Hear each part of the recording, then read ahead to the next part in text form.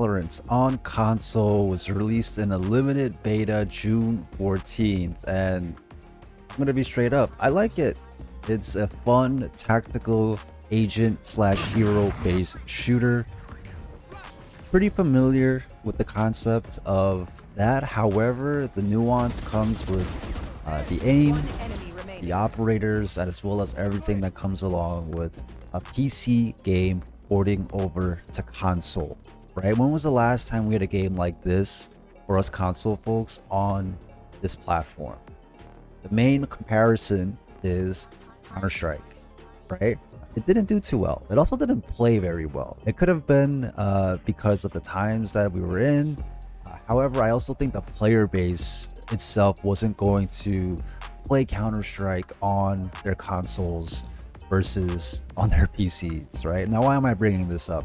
Uh, Valorant does pretty much play like CS. They took that CS formula, that tactical team-based formula, and layered on abilities uh, as well as different map sets, right? Uh, with controllers specifically, the main two differences you're going to feel is the one-tap nature of this game. There are games that do feature uh, this as well, games like Rainbow Six Siege. You could even put games like Warzone as well as, uh, you know, if you're really hardcore about it, like Tarkov, right? That one tap nature. However, with Valorant, it is a little different because of the recoil and bloom that happens when you shoot uh, to targets, right? Uh, the aiming as well is much different. The first thing you're going to notice when you play Valorant on console is that there's a lot of buttons. It's a lot of buttons. There's aim down sight with L2 and then you can zoom in with R3, you crouch with L3, circle, square, you know, with your abilities, right? It's a it's a very active game and you're definitely at some point going to have a miss input. Don't get it twisted here. I do think just based off the overall look and feel of Valorant, this will definitely definitely be a more successful PC port than CS. Why? Because it has the same nature and audience, let's be real, as games like Overwatch. Overwatch being where it's at now, seeing the plummeting of their esports and trying to bring it back up into a different league, but also at the same time the controversies and the fiascos that happen with their battle pass and also locking characters behind money with that in mind, this game being a free to play at the moment, none of that really seems to be the case. You're able to unlock agents, you're able to grind for them just like you can in Rainbow Six Siege, and that brings a whole other level of nuance when it comes to gameplay and familiarity over uh, the map as well as what can happen when you have these new agents, right? On top of that, for us console folks, there is a lack of map selection. Not all the maps are available from my understanding, as well as some different mechanics that may need to be tweaked out. First thing that I'm going to call out here is the notice of movement. You know, this ain't Call of Duty, this ain't Apex, that's for sure. Uh, you're going to notice you're going to be like very like, like stiff, right? And you got to get really get used to that because when you're watching these PC gods play Valorant and CS, the ability to move is much faster because of the MNK input, right? Top of that, there's also sensitivity, there's also different crosshairs, right? There is a lot of other options that come along uh, with this game than other ports. But what's going to happen once I start uh, getting down the aim, right? Once you start getting the movement down, uh, it's the shooting one if you miss that first shot my immediate inclination is to hold the trigger down and just like try to try to get one in right? That's the casual perspective. But if you're used to games like this you miss that first shot you gotta really go back and tap. And that's where things are a little bit of a struggle here because you may be one tapping at one point but you may shire uh fire excuse me shire fire another bullet or two uh, just because you held it a little bit longer than you thought. Some kind of input needs to be there so that we can feel more of the, the one shot. My thing is uh, maybe they can add like a trigger feature for consoles where if you're using a assault rifle or a sniper, you know, the that tap is a little bit stiffer. It kind of reminds me of OG modded Xbox controllers, but let's not get into that.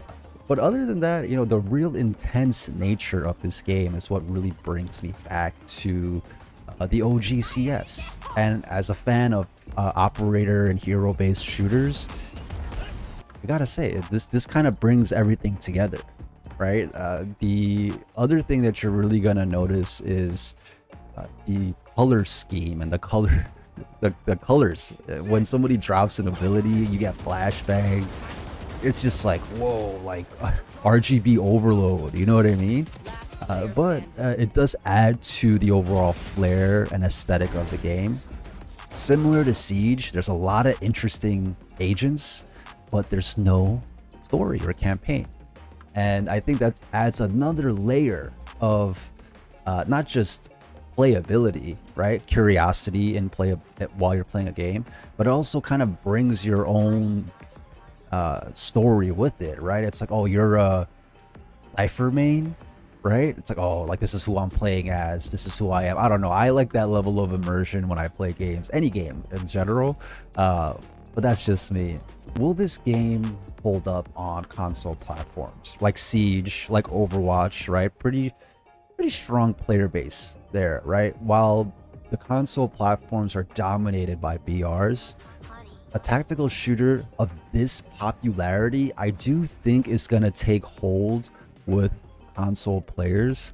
However, the main thing that I'm noticing as I'm playing the game, it's like other PC players who have been playing since the game came out and hopping on console and destroying the new players. That's kind of been my experience. When you're on that end of it, it's fine, but when you're receiving it, it's like, ugh. Like, it becomes rough. What keeps me going, what keeps me in the game, is another thing is you can stay in queue basically. When you finish a game, you have the option to play again. And I think that is also contributing to the addictive nature of a game like Valorant right? Uh, it shares those very similar qualities of uh, being in the loop constantly so you don't have to leave. I was on stream the other day and played five hours without even realizing it and I like missed it. I didn't miss a dinner, I was late.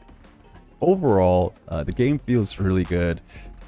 I honestly think it's probably ready and then they could just release another patch with their official seasonal rollout or whatever. Let's say they roll out ranked mode right? While players get used to it, uh, they can roll out the patch and be like, hey, here's the fixes before you jump into ranked, try these out, blah, blah, blah, blah, blah, blah. It is said that uh, updates will be coming simultaneously to both PC and console, so that should be fun. Thankfully, there's no cross-platform between PC and console, but I wouldn't be mad at an input matchmaking because uh, that really seems to be a thing. You know, XDefiant does that.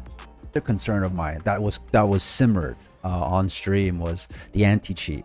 Is there a strong anti-cheat uh, for us, even for us casual folks to play and not get headshotted left and right, or Zimmers or Cronus, whatever you want to call it. Uh, thankfully, Riot does have a very strong anti-cheat, which can be a little controversial at times, just based off of why it's so secure, but I'm not a tech channel.